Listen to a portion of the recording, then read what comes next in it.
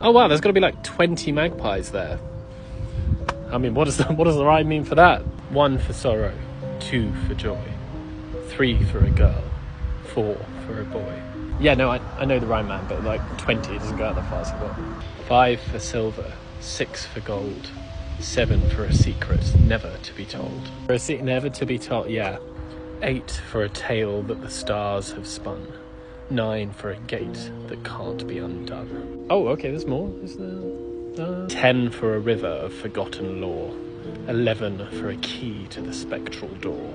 Um, you okay, dude? Twelve for a mirror that reflects the night.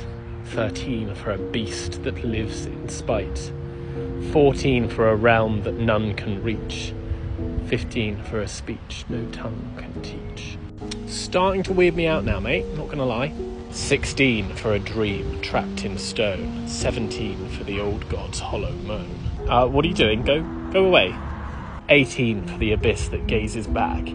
19 for the formless cosmic rag. Okay, dude, I'm just gonna go um, 20 for a magpie's final verse. In a universe where shadows converse. The end of the rhyme, the start of the dread, where not a single word is said.